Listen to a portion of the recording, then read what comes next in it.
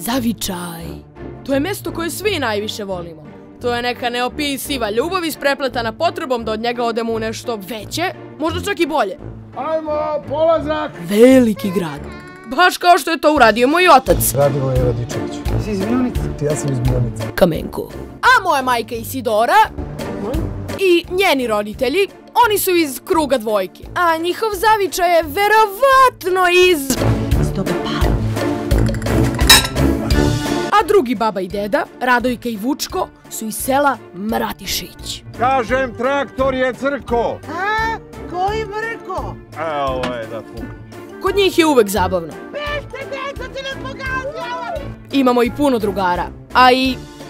Ovo niste vidjeli? Unutra ima svakako zla. Kao što svi vi imate u svom zavičaju neobične stvari, pojave i ljude, tako i mi imamo nju. To je mesto koje morate upoznati.